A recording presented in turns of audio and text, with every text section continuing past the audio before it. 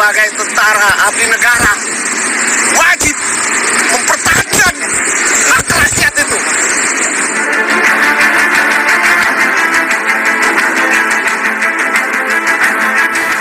Assalamualaikum warahmatullahi wabarakatuh. Saya Yudi Pramuko Tukang Donat Dari Parung. Youtuber tertua Di semesta.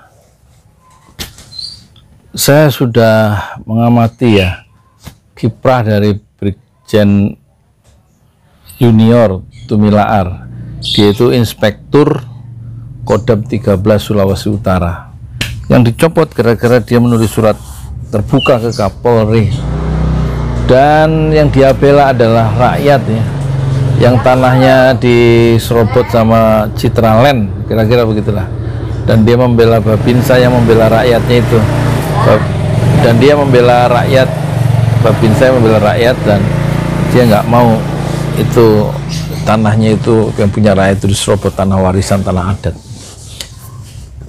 Ya ini kan lagu lama ya soal apa kerakusan dari perusahaan itu yang punya segala-galanya pasti akan mengalahkan rakyat dan muncullah ya seorang brigjen ya, pembela rakyat yaitu junior Tumilaar datang dengan gagah berani dan mengerahkan seluruh potensinya untuk berpihak kepada rakyat dan saya suka orang-orang yang berpihak seperti ini dan saya sudah lihat ya wawasannya, orientasinya, keberpihaknya. Saya sudah lihat wawancara Najwa Shihab dengan Brigjen Tumilaar, Junior Tumilaar. Detikcom juga, saya sudah lihat wawancaranya itu.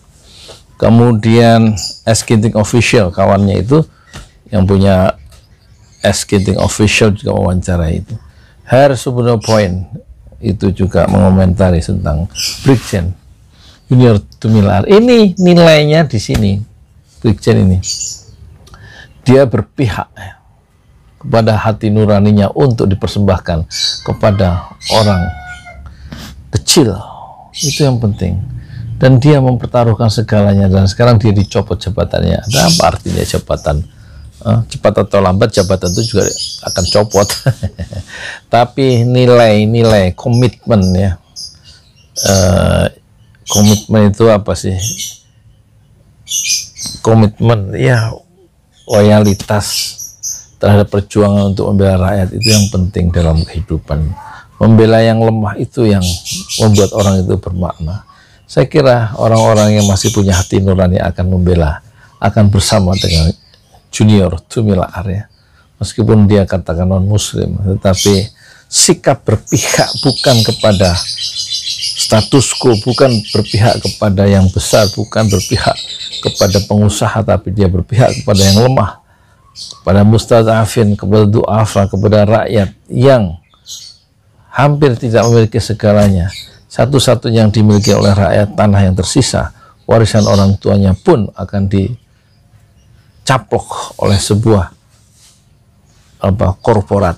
Ya inilah posisi intelektual dan posisi politik dari Junior Tumilaar itu sangat memberikan inspirasi kepada kita semua bahwa dalam hidup yang penting adalah bukan mempertahankan jabatan tapi mempertahankan sebuah nilai-nilai kejuangan